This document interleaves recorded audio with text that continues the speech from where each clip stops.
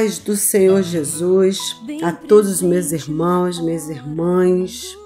Estamos aqui para mais um domingo aprendendo a palavra do Senhor, aprendendo sobre o amor de Deus para conosco. E nesta manhã nós vamos iniciar nossa aula com o tema Celebrando a Segurança do Povo de Deus, que é a lição de número 5. Gostaria de estar apresentando para vocês o texto áureo, que Deus é o nosso refúgio e fortaleza, socorro bem presente na angústia. Salmo 46, versículo 1. A verdade aplicada, a segurança do povo de Deus não está nas circunstâncias, mas em Deus nosso Senhor, refúgio e fortaleza. Texto de referência é o Salmo de número 46. O motivo de oração: ore para que Deus proteja a nossa nação. Então, antes de estarmos iniciando a nossa lição de hoje, que é a lição de número 5, nós vamos estar orando, pedindo a Deus para proteger a nossa nação e também para que o Espírito Santo de Deus esteja nesta manhã junto conosco nessa aula, para que nós venhamos aprender de Deus, para que nós venhamos nos alimentar da palavra do Senhor. Amém? Senhor, nosso Deus e nosso Pai, neste momento, Senhor, nós entramos na tua presença, Pai querido, te pedindo perdão pelos nossos pecados, palavras, pensamentos ou ações e que o teu Espírito Santo esteja, Senhor, nesta manhã, conduzindo, direcionando, Pai, os seus ensinamentos, a tua palavra, porque a tua palavra ela é viva, ela é eficaz e é mais poderosa, Pai, de que qualquer espada de dois gumes, Pai. Mas a tua espada, que é a tua palavra, esteja, Senhor, dentro de nós, Pai para que nós venhamos a discernir aquilo que é certo e aquilo que é errado, Pai. Deus querido, que a tua palavra, Senhor, fale aos nossos corações nesta manhã, meu Deus. Também te pedimos, Senhor, pela nossa nação, pelo nosso país, Pai, e por outras nações também, Pai, que estão vivendo a mesma situação que nós estamos vivendo, Pai, dessa pandemia, Pai. Que nesta manhã tu venha visitar, Pai, o teu povo guardando e livrando, Pai, de todo mal, consolando, confortando, Pai, os contritos de coração, Pai querido. Deus, já queremos te agradecer, Pai, pelas nossas vidas nesta manhã, Pai. Em nome de Jesus. Amém. Então, queridos, vamos lá na nossa introdução de hoje, que ela está falando sobre a segurança do povo de Deus por ter o refúgio, a fortaleza e a proteção de Deus. E vem enfatizando também a grandeza e a soberania do Senhor, e por fim destaca a inspiração de Lutero ao compor o hino Castelo Forte. Então vamos abrir as nossas Bíblias, ou você pode acompanhar pela revista, você que tem revista, o Salmo de número 46. Nós vamos estar lendo alguns versículos e eu gostaria que você acompanhasse nesta manhã. Deus é o nosso refúgio e fortaleza, socorro bem presente na angústia, pelo que não temeremos, ainda que a terra se mude, ainda que os montes se transportem para o meio dos mares, ainda que as águas rujam e se perturbem, ainda que os montes se abalem pela sua braveza. Há um rio, cujas correntes alegram a cidade de Deus, o santuário das moradas do Altíssimo. Deus está no meio dela, não será abalada. Deus ajudará ao romper da manhã. O Senhor dos exércitos está conosco. O Deus de Jacó é o nosso refúgio. No tópico 1, a ação do Senhor e a fragilidade humana. O Salmo 46 ele traz lições profundas aos servos de Deus no que se refere à proteção e às ameaças que ocorrem ao longo da vida também nos mostra a ação do Senhor e a fragilidade humana. Sabemos que nós vivemos um um tempo muito difícil. Já tem mais ou menos uns dois meses que nós estamos vivendo essa pandemia, essa doença que tem trago tanto sofrimento à população, à nossa nação, mas em todo o tempo nós vemos a proteção de Deus sobre as nossas vidas. E é em momentos como esse, irmãos, que aquelas pessoas que se acham tão fortes, tão tão cheias de si, é que elas caem na real e veem o quanto elas são frágeis e depende do poder de Deus. A nossa confiança está em Deus. A nossa confiança está no nosso Deus, porque Ele é o nosso refúgio e a nossa fortaleza. No subtópico 1.1, Deus é o nosso refúgio. A primeira estratégia para se proteger dos momentos de perigo é procurar um lugar de escape que sirva de amparo e de proteção. E aí eu fui pesquisar sobre refúgio, lugar para onde se pode escapar a um perigo, no sentido figurado, aquilo que serve de proteção, de amparo. Então, o nosso Deus, ele é esse lugar de escape.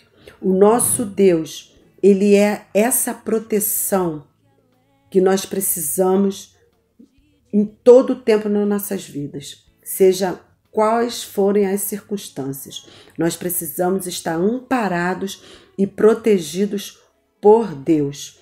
Precisamos nos esconder dentro de Deus, porque Ele tem cuidado de nós. O nosso Deus é esse lugar onde nós podemos nos esconder e ninguém vai poder nos tocar. Lá no Salmo de número 91 diz que aquele que habita no esconderijo do Altíssimo, à sombra do Onipotente, descansará. Direi do Senhor, Ele é o meu Deus, o meu refúgio e a minha fortaleza. Então, nesta manhã, você tenha certeza que Deus ele está entrando com salvação. Deus ele é um Deus de amor, ele é um Deus que tem todo o poder, seja qual for a situação que você está vivendo, situação de dor, de sofrimento, de desespero, saiba que Deus é o caminho, Deus é o refúgio, é aquele Deus que você pode contar com Ele em qualquer situação, seja ela qual for. E aí, aqui também vem dizendo, irmãos, que há diversos exemplos na Bíblia, entre eles as cidades de refúgio. E eu fui pesquisar o que era cidade de refúgio, e lá na Bíblia tem dizendo é, que lá em Números, capítulo 35, versículos 6 e 7, vem explicando sobre essas cidades de refúgio, que Deus ele pediu para Moisés construir as cidades de refúgio para o povo de Israel, para aquelas pessoas que estavam correndo risco de vida. Eram para pessoas que cometiam algum homicídio de forma involuntária.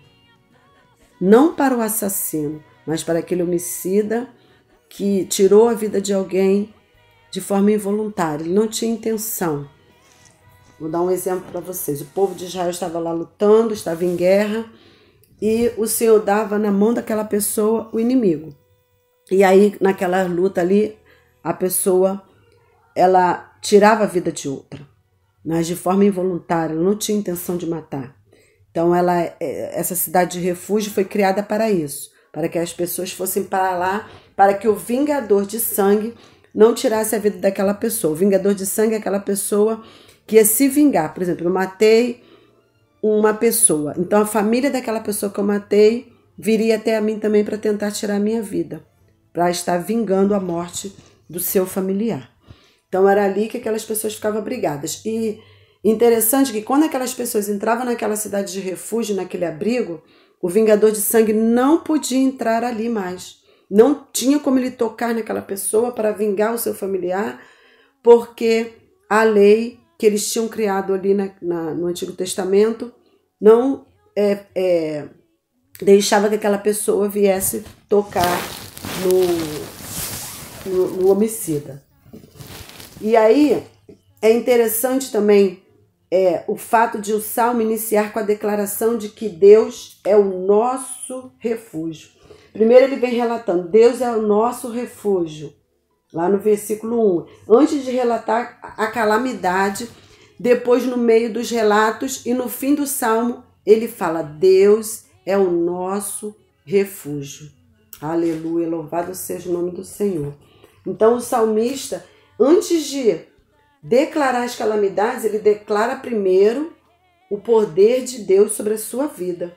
E nós também devemos fazer isso, porque muitas vezes o inimigo vem sobre as nossas vidas nos ameaçar. Mas antes disso, nós temos que dizer que o nosso Deus é o nosso refúgio, ele está bem presente, ainda que venham situações, ameaças, mas o nosso Deus, ele continua sendo Deus nas nossas vidas. No subtópico 1.2, Deus é a nossa fortaleza. Fortaleza, irmãos, é uma qualidade ou caráter daquilo que é forte. O nosso Deus, ele tem esse caráter de forte, de poder. Né? Ele, é o no, ele, ele representa a nossa firmeza, porque sem Deus nós não somos nada. Então, no tópico 1.2, diz assim: O que adianta ter um abrigo se ele é facilmente invadido, se os soldados inimigos podem destruí-lo? Nesse enfoque, o abrigo precisava ser protegido das interferências externas. Naquele tempo, as cidades eram protegidas com muros, torres e portões. Por exemplo, Davi fortificou a cidade de Jerusalém, lá em 2 Samuel, capítulo 5, versículo 9. E Salomão fortificou várias cidades. Segunda Crônicas, capítulo 8, versículo 5. Mas o Senhor também é a fortaleza do nosso interior. No Salmo 73, verso 26, diz que a minha carne e o meu coração desfalecem, mas Deus é a fortaleza do meu coração e a minha porção para sempre. Salmo de número 91, verso 2 diz: Direi do Senhor, Ele é o meu Deus, o meu refúgio e a minha fortaleza. Será que você pode dizer isso nesta manhã? Que Deus é a sua fortaleza? Que Deus é o seu refúgio? Que Deus é o Todo-Poderoso na sua vida? Você tem essa convicção de que Deus é o seu refúgio? Aleluia, louvado seja o nome do Senhor. E nesse presente século, irmãos, que nós estamos vivendo, tão marcado pelas enfermidades da alma, angústia, complexo, traumas, esgotamentos, bem-aventurado é aquele que enfrenta estes problemas e outros tantos desafios com a confiança de que Deus é a fortaleza do necessitado na angústia. Lá em Isaías 25:4 diz que porque foste a fortaleza do pobre e a fortaleza do necessitado na sua angústia, refúgio contra a tempestade e sombra contra o calor, porque o sopro dos opressores como a, é como a tempestade do muro. Louvado seja o nome do Senhor. Então, quem está em Cristo, irmãos, tem uma experiência pessoal com Ele, pode afirmar que Deus é a minha fortaleza. Aleluia, louvado seja o nome do Senhor. Então, Muitas vezes o povo de Israel e as nações inimigas, quando iam lutar, elas acreditavam muito é, nas suas forças, nas suas fortalezas, nos seus, nas suas armas, nos seus homens de guerra. E ali Israel também construía é, cidades protegidas, portões para que o inimigo não entrasse. Mas muitas vezes a, as fortificações no, eles não encontravam livramento naquelas fortificações, porque a verdadeira força ela é encontrada não em fortificações, mas a verdadeira força ela é encontrada no Senhor, porque o nosso Deus ele é chamado de fortaleza, de força, de refúgio.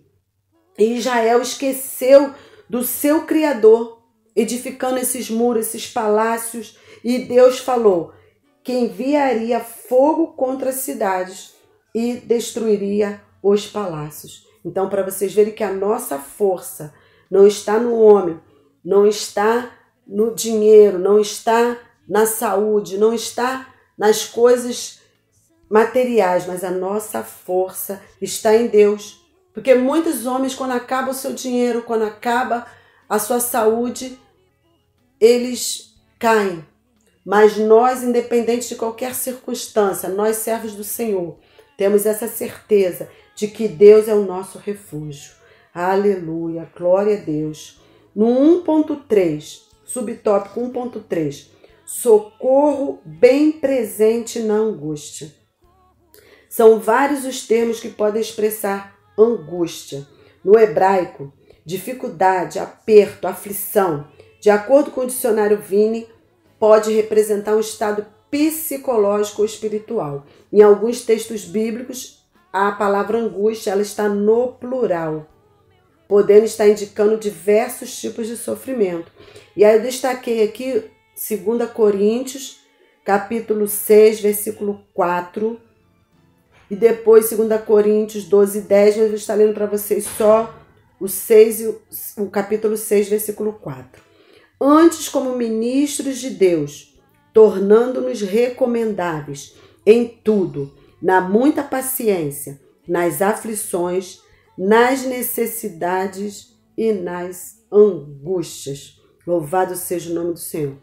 A angústia, irmão, é a condição de quem está em sofrimento, de quem está vivendo uma vida ansiosa, que está em tormento, que está inquieto, que está aflito. Esses tempos que nós estamos vivendo agora, dessa questão dessa pandemia, ela está trazendo angústia às pessoas, está trazendo aflição às pessoas. Então o Senhor fala que, contudo, aquele que está em Cristo pode afirmar e experimentar da parte de Deus socorro bem presente na angústia, nas tribulações ou na adversidade. É o socorro bem presente. E quando eu estava lendo essa lição, irmãos, eu lembrei de uma coisa que dá para entender mais ou menos como que é esse socorro bem presente. Porque o nosso Deus, ele não se atrasa. O nosso Deus, ele não demora em nos socorrer. O nosso Deus, ele é o socorro bem presente na angústia. E aí eu estava estudando e lembrei da quando nós estamos, por exemplo, tem uma pessoa passando mal dentro da nossa casa ou infartando, nós temos é, 192, que é a SAMU, temos 193, 192 que é o bombeiro, 193 que é a SAMU e temos também a polícia 190. E aí muitas vezes nós ligamos para essas para essas essa, esse socorro e esse socorro ele demora para chegar. Ele falha muitas vezes, né? Nós podemos ligar, muitas vezes eles falham, eles demoram, chegam atrasados. Mas o nosso Deus, ele nunca chega atrasado, porque ele é o socorro bem presente na angústia. O nosso Deus, ele não dorme. Ele é 24 horas ali presente na nossa vida, em qualquer circunstância. Louvado seja o nome do Senhor. Então, como encontramos na Bíblia de estudo, aqui está dizendo, palavra-chave, a expressão bem presente. No texto hebraico origina-se de duas palavras no hebraico. Estas palavras enfatizam a rapidez, a perfeição e o poder do socorro do Senhor. E aí, irmãos, é, já pensou, você está vivendo essa vida aqui e de repente acontece uma catástrofe mundial, final. É a dissolução do mundo natural por meio das forças do caos. É um cataclismo, ocorre. Mas o que, que acontece? A certeza do povo de Deus é que até o final a presença poderosa de Deus vai permanecer como uma rocha inabalável. Então é isso que eu quero que você tenha certeza nesta manhã que independente das circunstâncias que você esteja vivendo, o Senhor, ele é o seu socorro bem presente. Aí, em 2 Coríntios, capítulo 12, versículo 10, eu falei para vocês que eu não ia ler, mas eu vou ler. Pelo que sinto prazer nas fraquezas, nas injúrias, nas necessidades, nas perseguições, nas angústias, por amor de Cristo, porque quando estou fraco, então sou forte. Louvado e exaltado seja o nome do Senhor.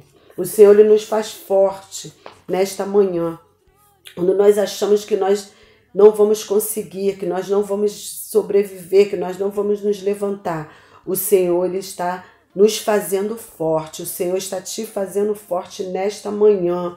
Levanta, o Senhor está te fazendo forte nesta manhã. Aleluia, glória a Deus. E agora, irmão, nós vamos para o 2, completa confiança no agir de Deus.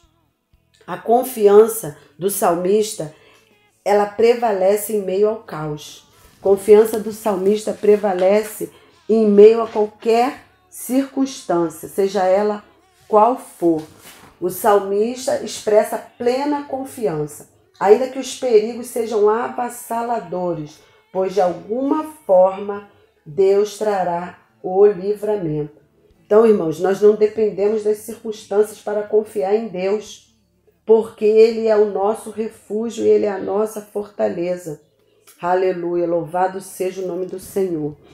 Jó, capítulo 19, verso 25 diz: Porque eu sei que o meu redentor vive e que por fim se levantará sobre a terra. Aleluia, louvado seja o nome do Senhor. Salmo 74, versículo 12. Todavia, o, é, Deus é o meu rei desde a antiguidade, operando a salvação no meio da terra. Aleluia, glória a Deus. Louvado e exaltado seja o nome do Senhor. No 2.1, a confiança prevalece no meio do caos. O salmista declara que, em decorrência de Deus ser o seu refúgio e fortaleza, ainda que a terra se mude e os montes se transportem para o meio dos mares, ele não temeria mal algum. Aleluias. Terra e monte lembram firmeza, mas o mar pode rompê-los. Há perigos que rompem as bases sólidas. O salmista expressa plena confiança, ainda que as bases sólidas sejam rompidas, ainda que os perigos sejam avassaladores, de tal modo que nada fique no lugar, pois de alguma forma Deus trará o livramento, ele trará o escape. Deus, irmãos, ele tem operado salvação no meio da terra. Então a nossa confiança está em Deus. A nossa confiança está no nosso Deus Todo-Poderoso. Aleluia, glória a Deus. Em Provérbios 3,5 fala: Confie no Senhor de todo o seu coração e não te estribes no seu próprio entendimento. Aleluia, glória a Deus. Você não deve confiar no seu próprio entendimento e na sua própria força, mas você tem que confiar na força do Senhor. O Salmo 127 fala: se o Senhor não edificar a casa, em vão vigia o sentinela. Então é o Senhor que tem que edificar a nossa casa, é o Senhor que tem que estar dentro da nossa casa, dentro da nossa vida. Não devemos confiar na nossa própria força.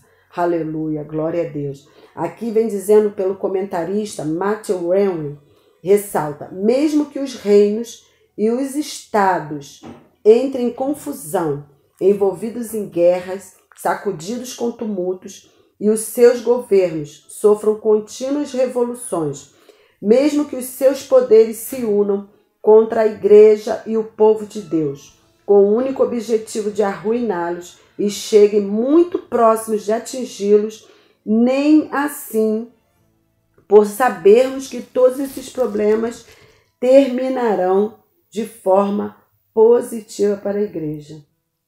Tudo contribui para o bem daqueles que amam a Deus.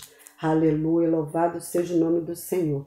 Isaías 93, verso 4 diz: Mas o Senhor nas alturas é mais poderoso do que o ruído das grandes águas e do que as grandes ondas do mar.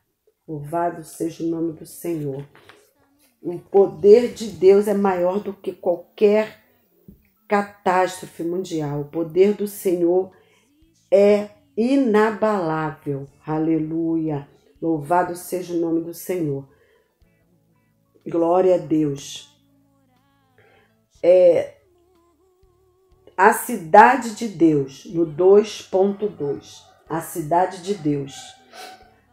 O salmista está identificando Jerusalém como a cidade de Deus. Está lá em Salmos 46, verso 4. Também identificada como a santa cidade. Está em Neemias 11, versículo 1. Lá em Jerusalém estava o templo e a arca da aliança. Jerusalém era uma das poucas cidades antigas que não foi construída à beira de um rio. E a palavra do Senhor vem dizendo que Deus alegra o seu povo com a sua permanente presença. O Senhor estava no meio da cidade, o Senhor estava dentro da cidade de Jerusalém. Louvado seja o nome do Senhor.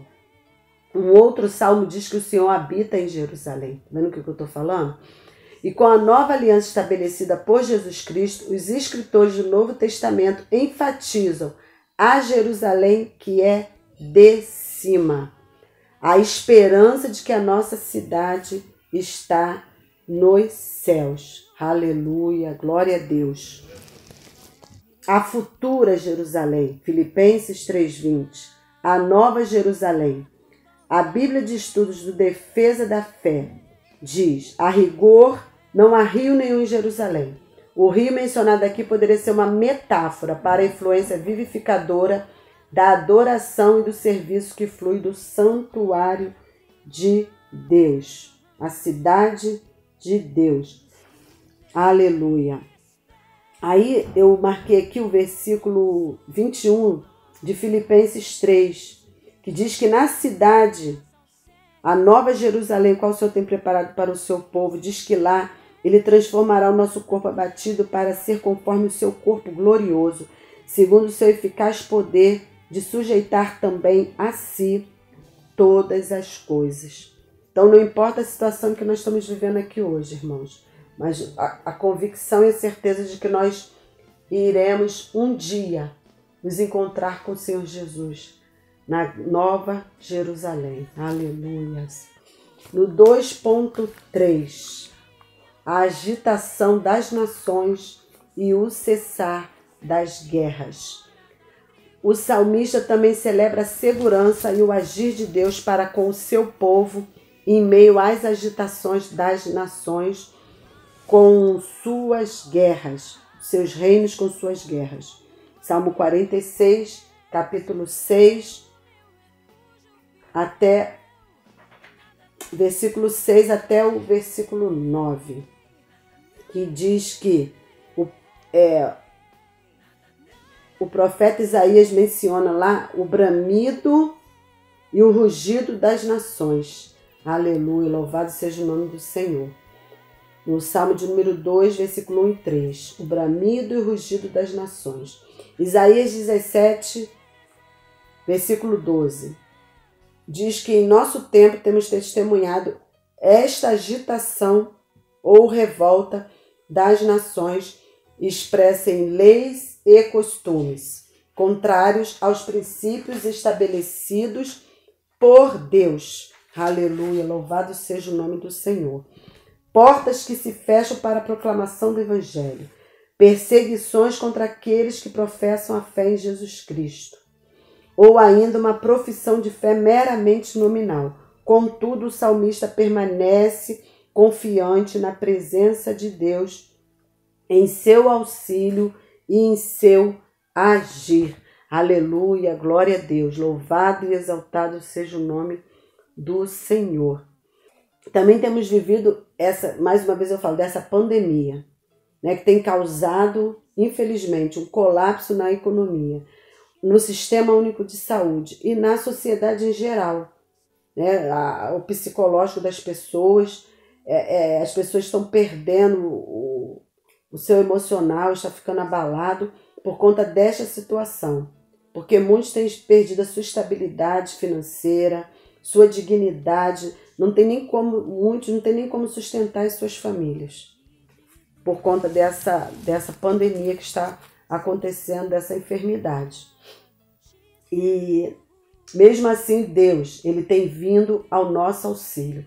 Contudo, o salmista permanece confiante na presença de Deus, em seu auxílio e em seu agir. Os reinos do mundo vieram a ser do nosso Senhor e Salvador Jesus Cristo. Aleluia. Louvado e exaltado seja o nome do Senhor. Glória a Deus. Aleluias. No 3, tópico 3, relações importantes e inspirações. Após refletirmos sobre a segurança e a completa confiança em Deus, cabe destacarmos algumas relações importantes entre os Salmos 46, 47 e 48. No, no subtópico 3.1, a relação entre o Salmo 46 e 47. O Salmo 46 e 47 possuem muitas ideias afins. E o 48 também, irmãos, eles formam uma trilogia. Eles se relacionam praticamente com o mesmo assunto, ou seja, o triunfo sobre as guerras. Essa ideia é reforçada no Salmo 47, o qual celebra o reino vitorioso de Deus sobre a terra. Retrata a soberania do Senhor e as vitórias finais do nosso Deus. Deus é o único soberano sobre todos, sobre todas as nações. E as nações reconhecem que o Deus de Israel é o grande rei. Salmo 47, verso 9.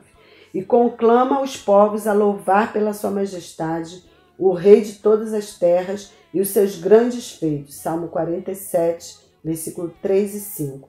Então nós percebemos nestes salmos que devemos louvar o nosso Deus pela sua majestade, pelas suas maravilhas e pelos seus grandes feitos. Aleluia. E o salmo também, o salmo 48, ele conclama a todas as pessoas para prestar atenção e ao narrar os detalhes, para poder falar com a geração seguinte, pois o nosso Deus nos guia até a morte. Então é uma importante lição, irmãos, a ser aplicada aos membros do corpo de Cristo.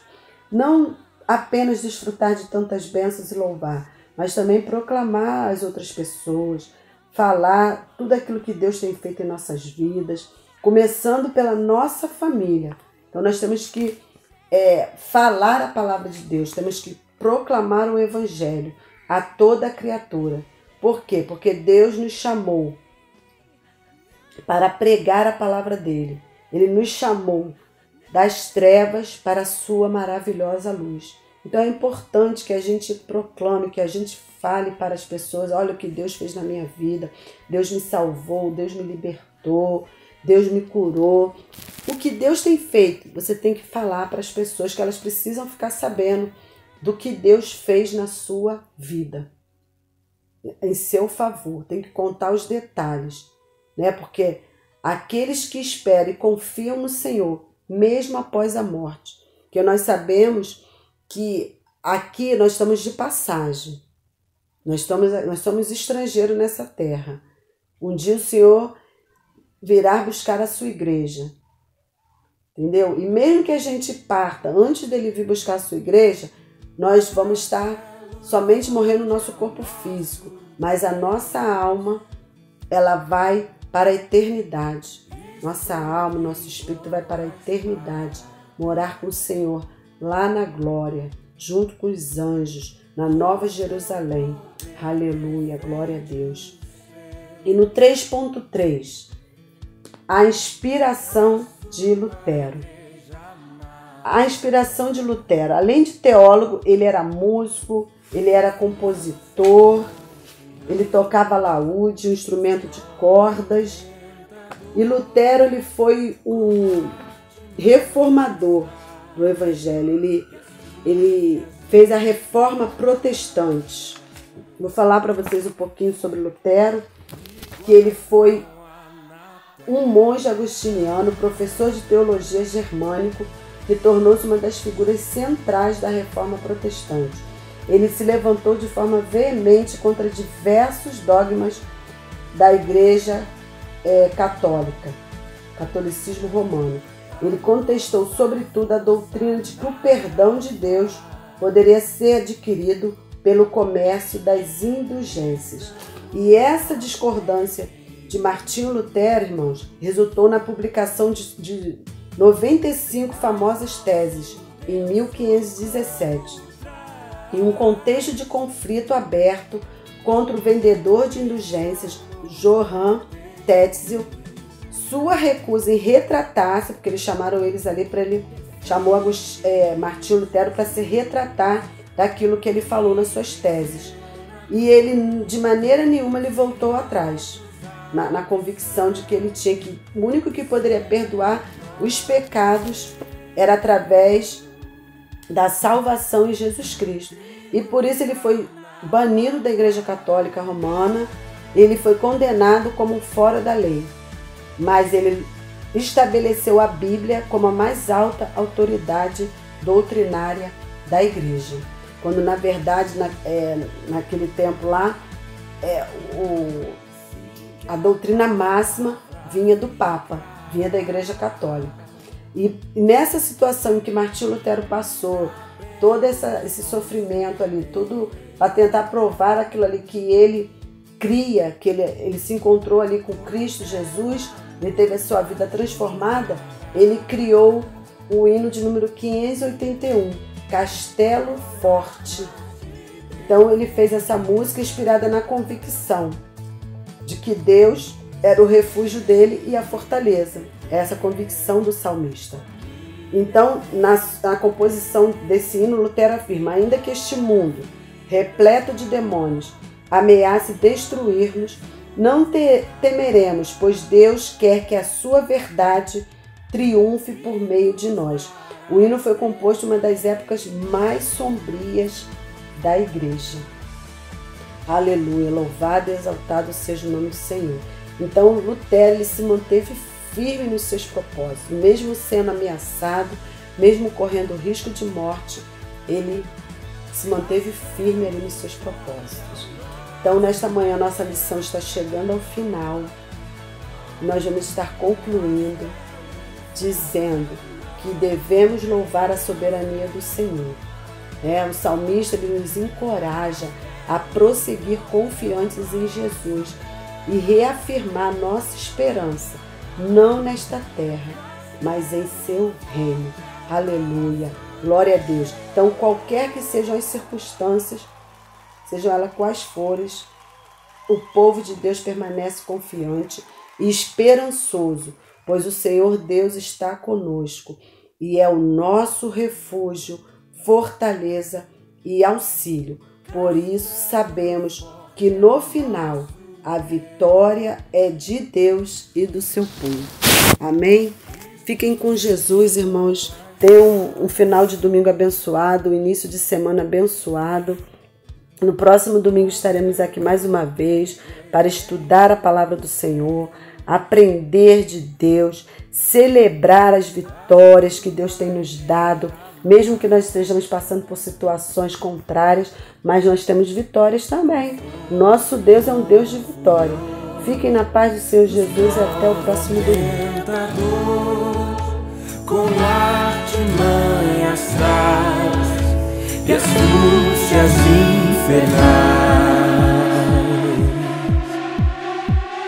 Iguais não há na terra.